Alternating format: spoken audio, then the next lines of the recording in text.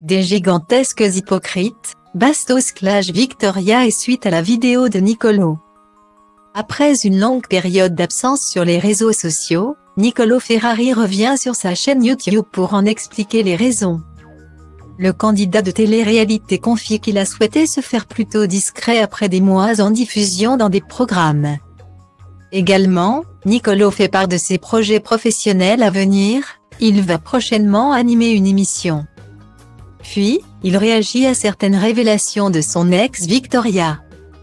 La dernière fois qu'il s'était exprimé, Nicolo était revenu sur sa rupture avec Victoria qui est survenue peu de temps après leur abandon dans Les Apprentis Aventuriers 6. Alors qu'elle avait annoncé vouloir quitter le tournage pour sauver son couple. La jeune femme l'a finalement quitté à l'aéroport. Une séparation que Nicolo a bien eu du mal à digérer. Dernièrement, Victoria Meo a avoué dans une interview avoir trompé tous ses petits copains. Bastos, qui a revu la pétillante blonde après sa relation avec Nicolo, s'est senti visé et n'a pas hésité à réagir à cette vidéo. Il en a profité pour confirmer que Victoria avait bien trompé Nicolo avec lui. Nicolo s'exprime enfin, j'ai été étonné. Mais pas trop. Je m'en doutais, mais je n'avais pas la confirmation. La chose qui est drôle, c'est que lui aussi s'est fait tromper par elle. Guillaumet. Puis, il poursuit, par la suite, Bastos m'a écrit en DM sur Instagram. Il m'a proposé qu'on se rencontre pour tourner une vidéo YouTube.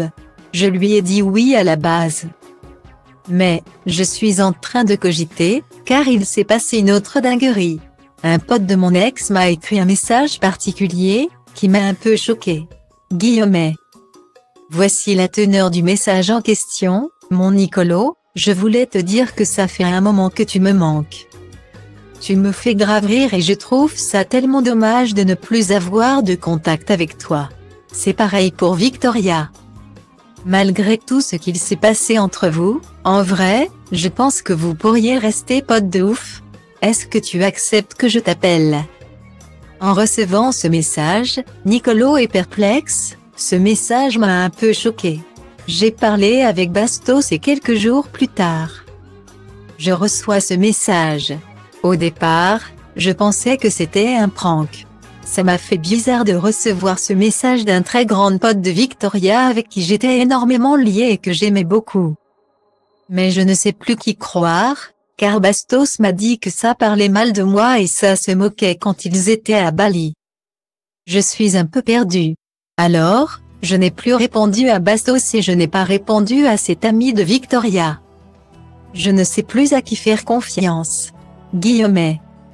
En découvrant la vidéo YouTube de Nicolo, Bastos a fait une annonce en story Instagram, soyez présents sur le stream de ce soir.